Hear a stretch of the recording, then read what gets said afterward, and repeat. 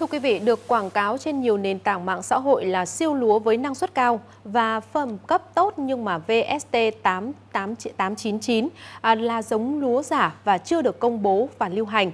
Thực tế thì nhiều nông dân trên cả nước đã gieo cấy giống lúa này và đều mất trắng khi không có bông hoặc là bông lép. Sau khi nhận được phản ánh của nông dân về việc mua phải giống lúa kém chất lượng mang nhãn mác VST 899, Phòng An ninh mạng và Phòng chống tội phạm công nghệ cao phối hợp với Phòng Cảnh sát Hình sự tỉnh Thái Bình khẩn trương tiến hành xác minh, điều tra làm rõ. Bằng các biện pháp nghiệp vụ, cơ quan công an đã nhanh chóng thu thập thông tin tài liệu, và xác định được 3 nhóm với 7 đối tượng liên quan. Căn cứ vào tài liệu chứng cứ thu thập, cơ quan cảnh sát điều tra đã ra quyết định khởi tố vụ án hình sự lừa đảo chiếm đoạt tài sản xảy ra trên không gian mạng và khởi tố 7 bị can. Ba nhóm đối tượng cùng chú tại huyện Sông Lô, tỉnh Vĩnh Phúc. Nhóm đối tượng đã lấy các loại thóc giá rẻ, đóng túi ni lông một cân và dán tem nhãn giống lúa VST 899 để giao bán trên mạng xã hội. Để tiếp cận khách hàng, nhóm đối tượng đã chạy quảng cáo và đã hoàn thành hơn 23.000 đơn hàng trên cả nước, tương đương số tiền 7,8 tỷ đồng. Đại diện Cục Trồng trọt Bộ Nông nghiệp và Phát triển Nông thôn khẳng định giống lúa VST 899 là giống giả, chưa được công bố lưu hành. Đây không phải là lần đầu tiên xảy ra tình trạng lừa bán giống lúa kém chất lượng.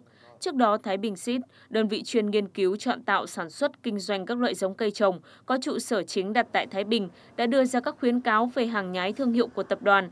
Theo đó, trên mạng xã hội đã xuất hiện một số sản phẩm có hình ảnh, tên gọi gây nhầm lẫn với các sản phẩm mang thương hiệu của Thái Bình Seed. Điều này không chỉ gây thiệt hại cho chính nông dân mà còn ảnh hưởng tới thương hiệu của doanh nghiệp đây là có thể nói là hành động phá hoại sản xuất. Rất nghiêm trọng. Chứ không thể đơn giản là chỉ là vì, vì cái việc bà con mua thóc giống mà nó phá hoại cái hệ thống sản xuất phá hoại cái thiệt hại cái sản xuất của bà con nông dân. Thứ hai là đối với các doanh nghiệp chân chính người ta làm đàng hoàng thì giống lại không bán được thì lại gây thiệt hại cho cho doanh nghiệp. Như vậy nó sẽ làm ảnh hưởng đến cái hoạt động chung của xã hội và tác động không tốt đến cái sản xuất của bà con nông dân.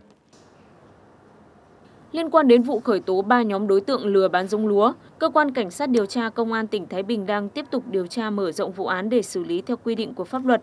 Công an tỉnh Thái Bình khuyến cáo người dân cần cảnh giác với các mặt hàng về giống lúa, cây trồng được giao bán trên mạng xã hội, nên mua các loại giống uy tín có nguồn gốc xuất xứ rõ ràng ở các đơn vị sản xuất kinh doanh đã được cấp phép hoạt động.